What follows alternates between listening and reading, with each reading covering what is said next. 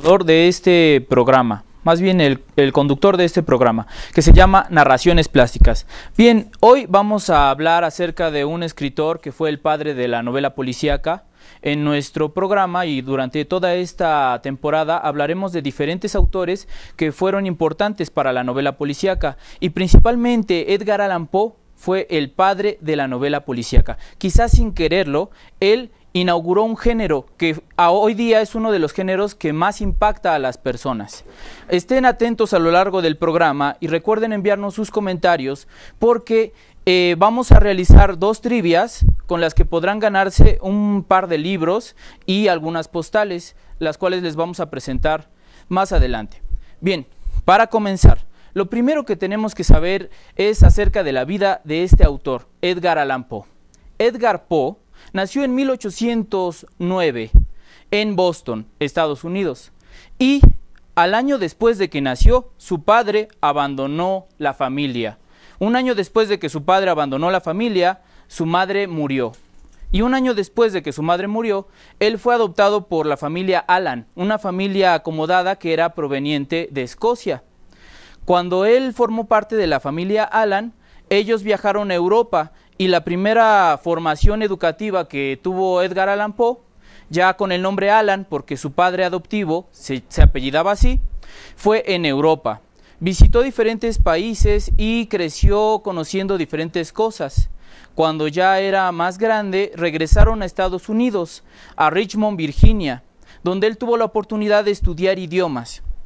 Estudios que abandonó posteriormente sin haberlos concluido. Por aquel entonces, cuando él cumplió 18 años, se enlistó en el ejército, pero él tuvo que mentir porque en realidad dijo que tenía 21 años cuando tenía 18. Esto de entrar al ejército le provocó problemas con su padre adoptivo y poco a poco se fueron distanciando cada vez más y más y más. Posteriormente, Edgar tuvo que comenzar a vivir con su tía y con su prima, su prima llamada Virginia Clem. Virginia Clem se convertiría tiempo más tarde en la esposa de Edgar Allan Poe. Esto eh, fue un matrimonio en secreto.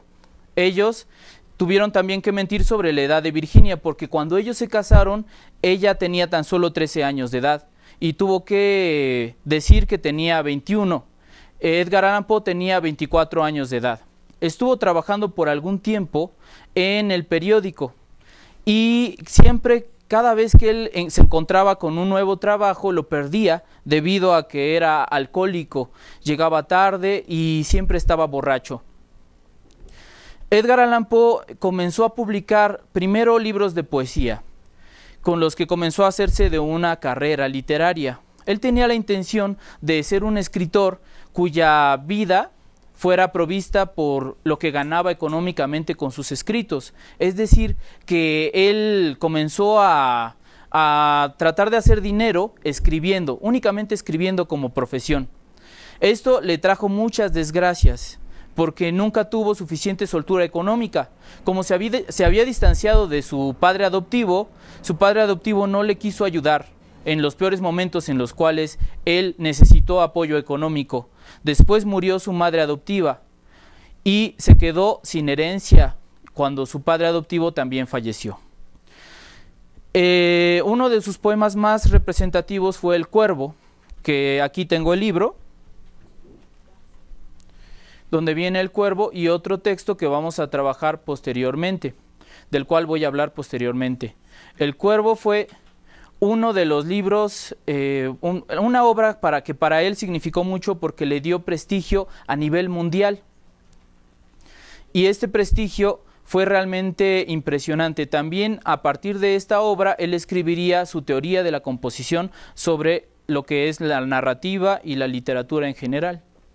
Y bien, vamos a pasar nosotros ahora con mi querido amigo Rigoberto. Le damos la bienvenida a Rigoberto Cuevas, artista plástico para que veamos la pintura del día de hoy, que es una pintura sobre nuestro autor.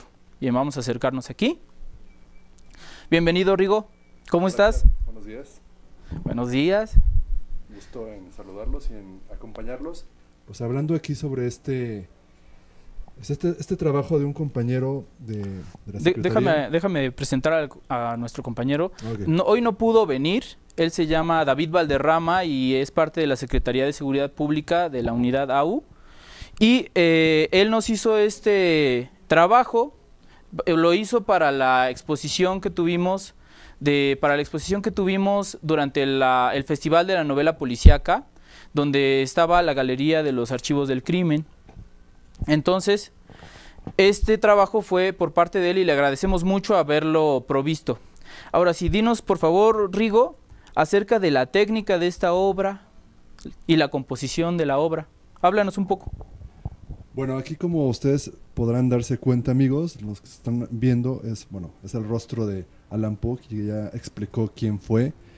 Y básicamente este trabajo es un dibujo, más que una pintura, es un dibujo por las por los materiales que se está utilizando. Son tintas eh, con grafito sobre papel y tiene una composición de varios elementos del trabajo que él hacía Alan Poe. Esto se le llama juxtaposición, eh, es decir, todos los elementos los pone juntos para dar una, una, imagen que en este caso es el rostro del escritor en diferentes eh, formas. Esta técnica es muy polémica porque de repente bueno, por ejemplo, se utiliza en la publicidad, incluso en tests psicológicos, para dar precisamente esa, esa percepción que se tiene sobre pues, algo, ¿no? En este caso es eh, el escritor, pero todo el entorno que, que, está manejado aquí muy gótico, muy uh, obscuro, es lo que quiso él plasmar sobre esta, este trabajo. Sí, justamente Rigo, toda la obra está compuesta por diferentes elementos que hacen el rostro de Edgar Allan Poe. Era un poquito diferente, la verdad, pero eh, me refiero a que pues aquí como está compuesto por varios elementos, pongan mucha atención, a ver si después podemos volver a hacer el zoom, porque nosotros vamos a preguntar para la trivia de hoy, para que se ganen un libro, vamos a preguntar acerca de si nos pueden decir ustedes al menos tres de los elementos que vienen aquí. Nosotros no les vamos a decir exactamente cuáles, pero miren, aquí arriba hay algunos, aquí hay otros, en el rostro, en los ojos, en los, ojos, en los bigotes, también en la parte de su traje. Entonces pongan mucha atención para que puedan llevarse ustedes el libro de regalo, diciéndonos tres elementos de los cuales componen la obra. Y bien, Rigo, ¿a ti qué te, qué te provoca esta obra cuando la miras? Pues eh, eh, es algo, una sensación como gótica, como eh, de nostalgia también, gótico, tristeza em, y algo espeluznante también. Bien, vamos a hablarles un poco de lo que vamos a regalar hoy. Vamos a regalar un ejemplar de la Gavilla de Ediciones Rommel, que es un libro donde vienen varios relatos de corte policiaco y em, eh, cuando ustedes respondan esta pregunta, viene este libro junto con unas postales. ¿Puedes mostrarnos las postales, Rigo? Sí, claro. Allí con, este es el libro. Y a ver, ahora me junto con Rigo, para que, para que puedan ver ambos. Aquí están las postales. Van a ser, el regalo viene el libro con los relatos policíacos y dos postales de la serie de archivos, de archivos del crimen, que es la serie que pintó Rigo, que es nuestro artista nuestro artista visual, artista plástico de cabecera. Recuerden también que el título de la gavilla se va a presentar el próximo miércoles a las 9 de la mañana en el Centro de Formación Policial de la Policía Auxiliar y eh, pueden ustedes acudir, es en Zaragoza 280 y eh, si ustedes van y hablan de que vieron este programa, les vamos a hacer un regalo. Bien, gracias Rigo vamos a continuar un poco hablando de lo que es la narrativa policíaca en Edgar Allan Poe. Como les mencioné al inicio, Edgar Allan Poe en realidad no se planteaba generar lo que nosotros conocemos como el género policíaco o detectivesco. En realidad, en aquel entonces en que él escribió sobre de esto, no existía la palabra detective para determinar, para hablar de las personas que realizaban esta actividad. Especialmente, él logró fundar este género gracias a cuatro relatos. El primero de esos relatos del que voy a hablar es un relato que le generó muchísimo conocimiento a nivel general con la gente, porque este relato ganó un premio, le, dio algo de dinero y fue el que más tuvo difusión mientras él estuvo vivo. Este relato es El escarabajo de oro. El escarabajo de oro es un relato donde Edgar Allan Poe lo que hace es plantear que existe un escarabajo dorado muy valioso y que la manera de encontrarlo es resolviendo una serie de enigmas. Es decir, que lleva al lector de paso a paso a través de estos enigmas para que pueda descubrir cuál es el paradero del escarabajo dorado. Otro de los relatos que es más referente cercano para nosotros es los, los asesinatos de la calle Morgue.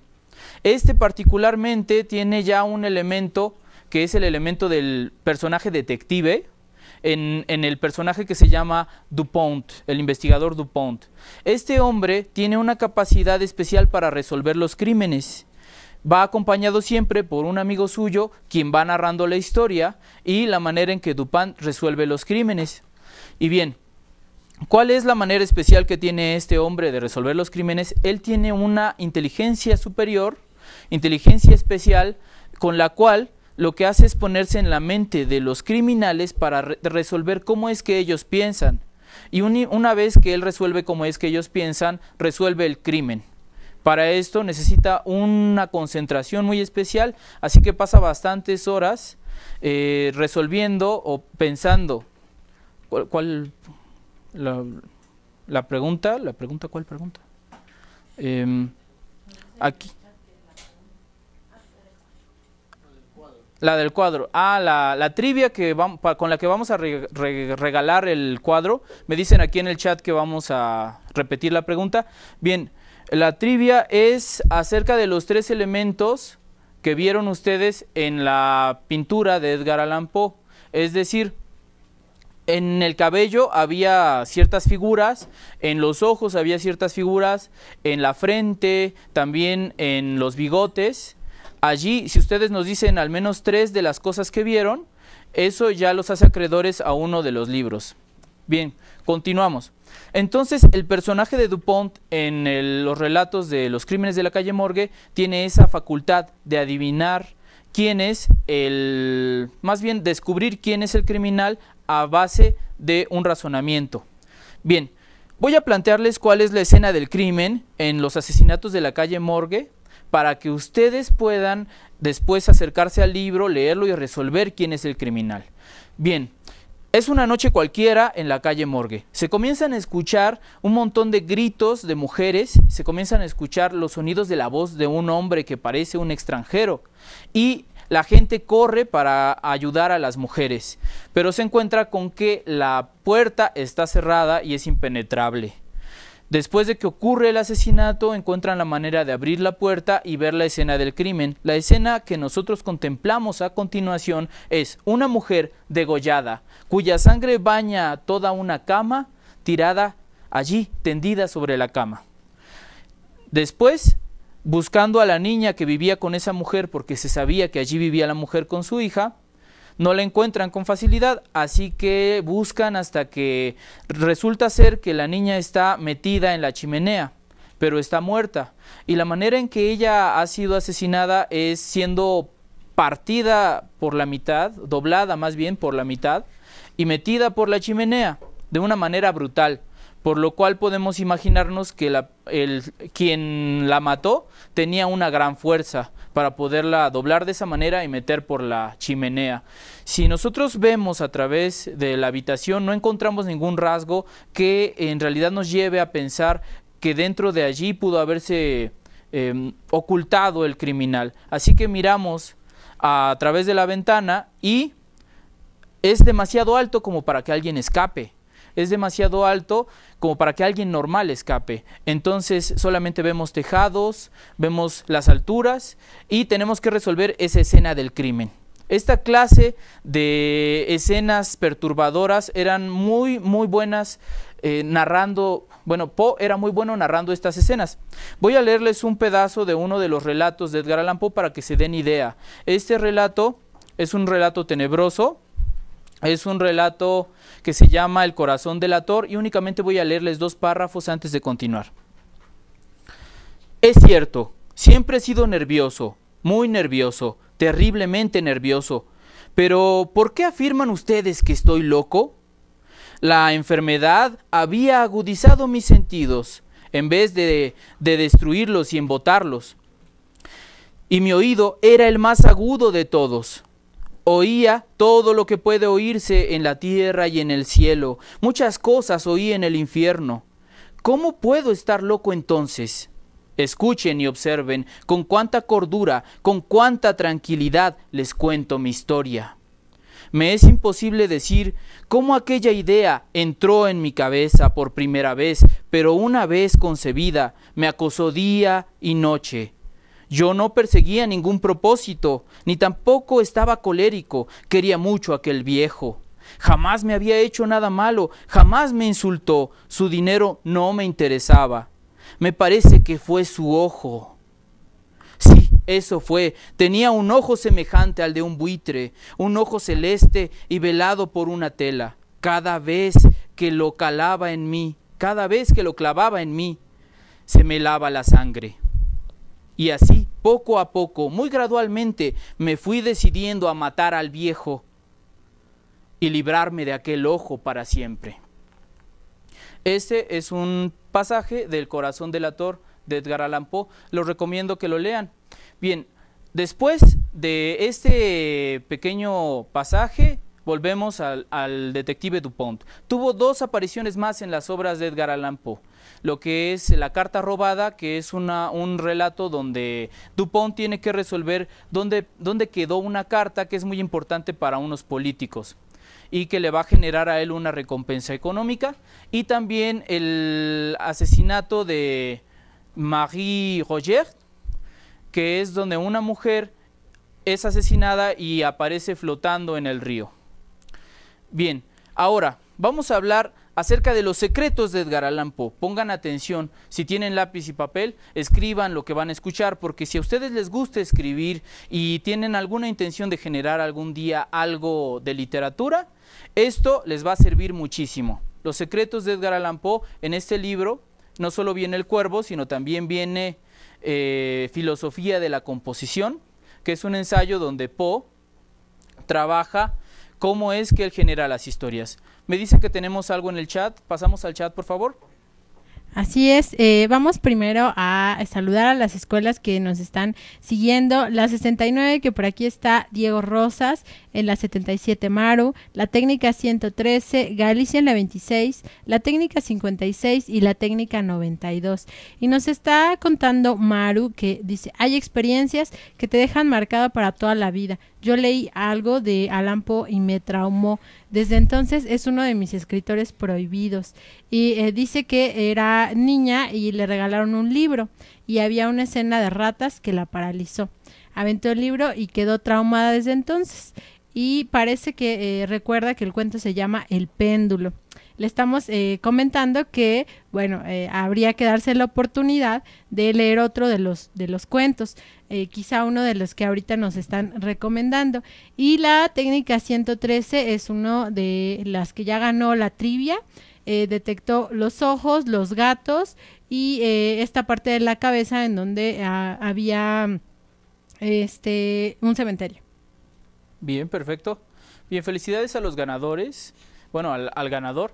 Y em, bueno, lo que me comentas sobre tu miedo, eh, lo, de, lo, que, lo del pozo y el péndulo, sí, mira, principalmente si eres muy susceptible al terror, eh, hay que tener cuidado sobre todo cuando a qué edad lees los libros. Eh, ahorita estamos nosotros trabajando con personas jóvenes y adultos a partir del nivel secundaria, que es donde se proyecta, bueno, se transmite este programa. Entonces, únicamente sería, en principio, eso, cuidar que de, qué manera te acercas a los libros, a qué edad y con qué susceptibilidad. Ahora, si tú te asustaste muchísimo, tanto que quedaste muy afectada y quieres escribir, eso es bueno. Es decir, tú puedes con ese, esa sensibilidad plasmarla en un cuento y es importante porque una manera de enfrentar las cosas es justamente escribirlas, hablarlas, contarlas. Entonces, si a ti te, te, genera eso, esta clase de historias, pues puedes volverte a subir al caballo o nunca más. subirte al caballo. Lo cierto es que los temas de violencia siempre han sido temas de actualidad y siempre han sido temas literarios. Justamente vamos a continuar hilando esta participación del chat con lo que voy a decir de, de Edgar Allan Poe. Bien, hilando esto, aquí Edgar Allan Poe nos dice que las emociones más intensas y los acontecimientos más fuertes son los más artísticos. Para Edgar Allan Poe, la emoción más estética de todas y que es compartido por todas las personas es la melancolía, la depresión, la inseguridad. Él opina que todos los seres humanos no podemos evadir una, una emoción oscura en nuestros interiores que nos lleva a como a culparnos a nosotros mismos, atormentarnos a nosotros mismos. En el cuervo, un pájaro que sabe una sola palabra se cuela al interior de la habitación de un estudiante. El estudiante ha perdido a su novia que ha, quedado desaparecida. Y entonces aquel estudiante, al recibir la visita del cuervo, de, a manera de broma comienza a hacerle preguntas acerca de cualquier cosa. Y el cuervo siempre responde, nunca más. Y estas palabras le pegan en el alma al estudiante que comienza a sugestionarse sobre qué es lo que realmente le quiere decir ese cuervo. Y él considera que este cuervo le trae la mala noticia de que su enamorada ha muerto, de que nunca más la volverá a ver y por eso esas palabras se repiten de esa manera tan contundente, nunca más. Bien, y eh, entonces los tres elementos importantes de la composición de Edgar Allan Poe son, primero, Comenzar desde el final hasta el principio. Es decir, nosotros tenemos que saber a qué nos dirigimos, qué clase de emociones queremos provocar en el lector y así elegir las palabras precisas para que poco a poco el lector vaya entrando en aquel ambiente psicológico que nosotros queremos meterlo. Es decir, si queremos que sea aterrorizante, tenemos que hablar de manera aterrorizante desde un principio sin dejar ver nuestras intenciones finales y en el clímax dejar caer sobre el lector todo lo que nosotros queremos provocar si queremos que se asuste, si queremos que, ría, si queremos cualquier efecto, tenemos que pensarlo desde un principio. Luego, otro de los elementos que él maneja en la composición es la duración de la obra. La obra debe de ser tan corta o tan larga como para que el lector pueda leerlo de una sola vez, es decir, llegar en un solo día o en una sola lectura de principio a fin y así poder tener una experiencia unitaria de la obra, una experiencia completa. Y el último de estos tres elementos importantes de la composición de Edgar Allan Poe es que no vamos a dejar nada a la suerte. Todo lo tenemos que tener planeado. Cada palabra tenemos que tenerla con la intención, tenemos que elegirla con la intención de generar algo en el lector. La estructura, los escenarios, los personajes, nada es arbitrario. Todo es elegido para poder llevar esto a un fin. Y bien, la pregunta que les va a generar, que les va a hacer acreedores al segundo libro y a las, a las postales es eh, cuál es el poema más importante de la obra de Edgar Allan Poe. Vamos otra vez con Rigo, por favor Rigo, acompáñanos de nuevo y ahora vamos a nuestra sección de la, eh, los archivos del crimen. Bien, esta pintura la hizo Rigo para Rigoberto Cuevas, Rigoberto Cuevas, es que yo le tengo mucho aprecio y por eso le hablo así. Eh, con el, bueno, esta obra, oh, gracias a ti, esta obra la hizo él, va a hablarnos un poquito de qué personaje es en nuestro, nuestra sección de los archivos del crimen. Por favor, Rigo, cuéntanos, ¿qué personaje plasmaste aquí? ¿Qué asesino plasmaste aquí? Bueno, esta persona es una mujer eh, conocida como la monstruo, The Monster. Se llama Aline Wornos. De hecho, es una, se hizo una película con Charlize Theron que más adelante va a hablar. No, pues ahorita mismo hablamos, ¿no? Eh, la película Monster con Charlize Theron, eh, ella, Charlize Theron tuvo que subir de peso, caracterizarse de una manera grotesca y esta caracterización y esta interpretación la hizo acreedora a un Oscar. En aquella película también aparece Cristina Ricci. Eh, y es sobre los crímenes que realiza este personaje, Aileen Wuornos. Entonces, cuéntanos más de la historia de Aileen Wuornos, por favor. Bueno, eh, Aline Wornos era una chica normal, pero eh, cuando en, el momento que fue creciendo, lo que estuve leyendo me impactó mucho, por eso es que hice este, estos bloques, como que tapando el rostro de alguien y sangre. Eh, fue una persona que sufrió mucho de bullying, por eso no hagan bullying, chavos, porque no sabemos qué pueden desencadenar cuando una persona no es aceptada por su aspecto físico, por lo que sea, no es, no es recomendable este, pues encasillarlo, ¿no? Eso es lo que sufrió esta persona desde muy, desde muy este, Pequeña, corta ¿no? edad, o sea, y aparte tuvo un trauma muy feo porque su padre pues abusaba de ella sexualmente. Entonces, conforme a estas situaciones que va creciendo, este, pues creo que vamos al chat. Sí, sí, eh, tenemos alguien en- algo en el chat, por favor, pasamos al chat. Así es, eh, nos están aquí hablando.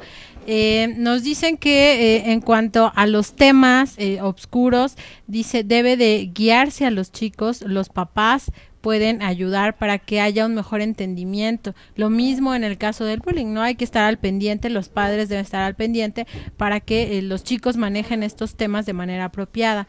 Nos dicen también que, ah, la Maru, que nos estaba contando hace rato de que tiene eh, esta situación con eh, Alan Poe, dice que nada más le pasa con ese autor porque le fascinan eh, Sherlock Holmes y todo lo que sea suspenso y detectives y así, pero no le hace el terror, aunque ha leído mucho a Stephen King. Y dice la 113, no es malo lo que se lee, sino lo que se interpreta. Eh, nos dice Maru, lo más curioso es que eh, mi mamá fue la que me lo regaló, me gustaba mucho leer y nunca pensó que me fuera a dar tanto miedo.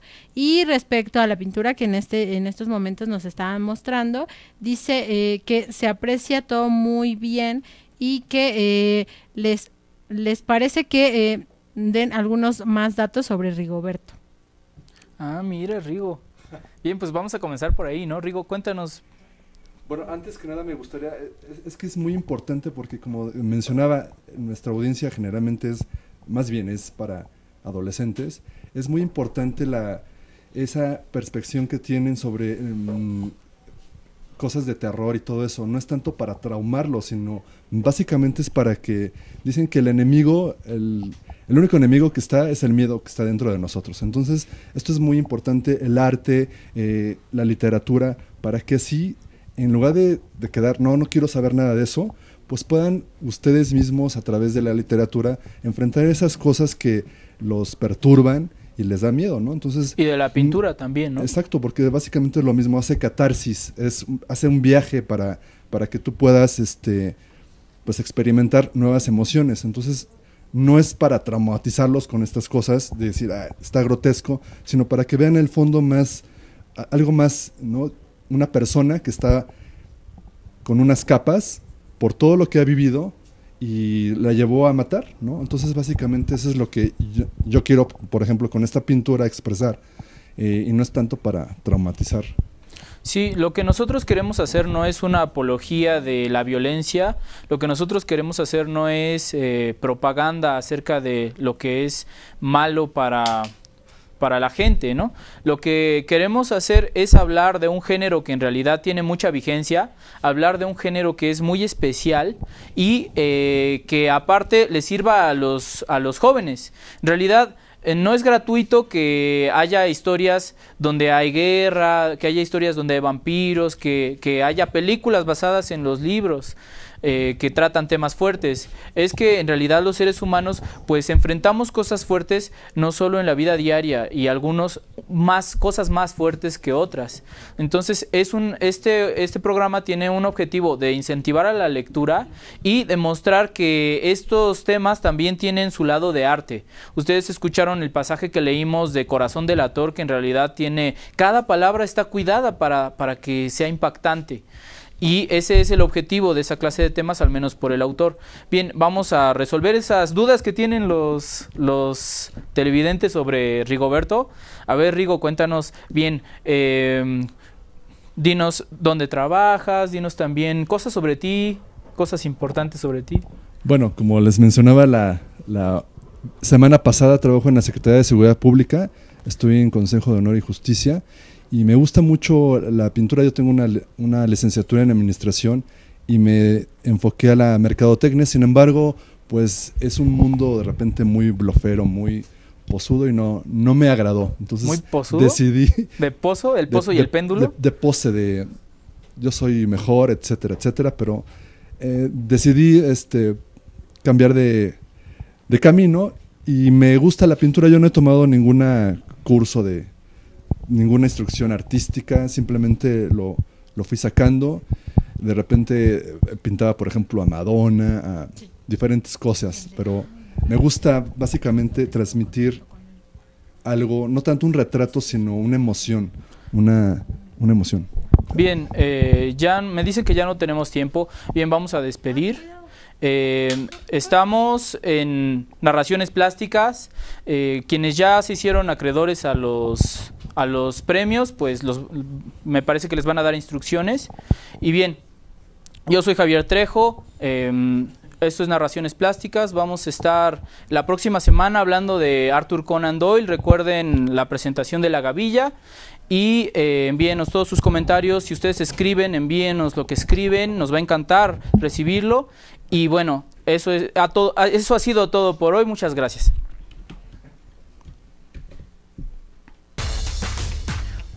Entregar todo en el entrenamiento te da un cuerpo de acero. Leer te permite tener una gran estrategia para dirigir al equipo hacia la victoria. What matters is in your mind, man. Lee 20 minutos al día.